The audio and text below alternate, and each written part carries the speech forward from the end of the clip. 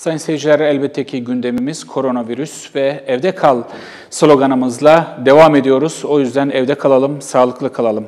Kültür ve Turizm Bakanı Mehmet Nuri Ersoy turizmle ilgili önemli açıklamalarda bulundu. Koronavirüs salgını nedeniyle alınan tedbirler kapsamında uçuşlarında iptal edilmesi ve ülkelerin sınırlarını kapatması konularına değinen Bakan Ersoy, turizm sezonunun Mayıs ayı sonunda açılmasını öngördüklerini açıkladı.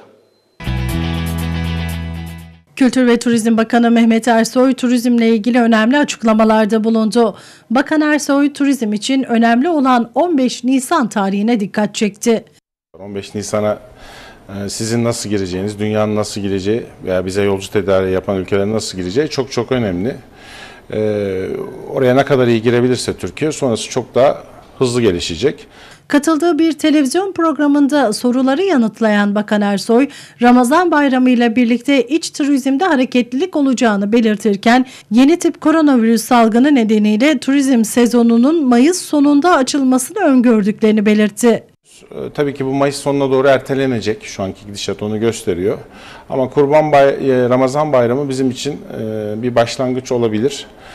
İç turizm hareketleriyle Ramazan Bayramı ile birlikte turizm hareketleri de Türkiye genelinde başlar diye umuyoruz. 2020 sezonuna çok ciddi şekilde hazırlanarak girildiğini belirten Bakan Ersoy, virüs salgını başlamasıyla birlikte tahmin edilen rakamların aşağı seyir haline geçtiğini ifade etti.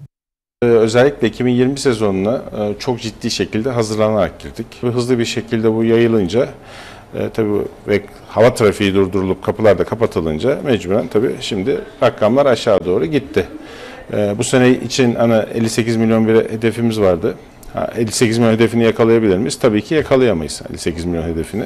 58 milyon hedefinin yakalanamayacağını belirten Kültür ve Turizm Bakanı Ersoy, umut verici bilgiler de paylaştı.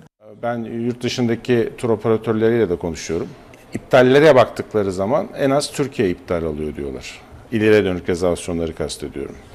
Az sayıda satış başladı diyorlar ve orada da Türkiye satışları diğer ülkelerle kıyaslandığında açık ara ileri diyorlar.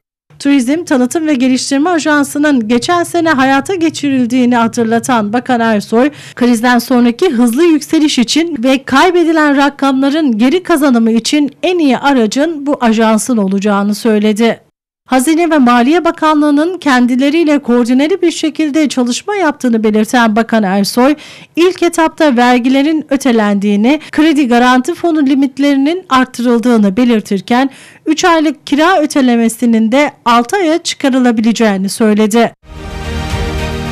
Turizmcilere özel kredi fonu da oluşturulduğunu da belirten Bakan Ersoy, konaklama vergisinin bir yıl ertelendiğini ve TÜRSAB'ın 2020 aidatlarını bu yıl almayacaklarını da sözlerine ekledi.